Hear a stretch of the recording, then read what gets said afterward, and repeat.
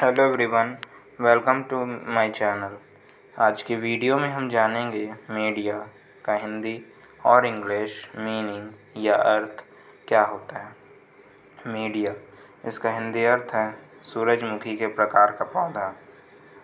सूरजमुखी के प्रकार का पौधा, वहीं इसका इंग्लिश मीनिंग है अ जेनस ऑफ़ एनुअल और perennial usually aromatic herbs a genus of annual or perennial, usually aromatic herbs एक एग्जांपल से समझते हैं इसे।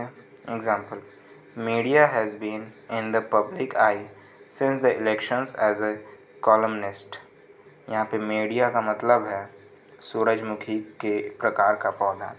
उदाहरण, एक स्तंभकार के रूप में चुनाव के बाद से ही सूरजमुखी के प्रकार का पौधा जनता की नज़रों में है।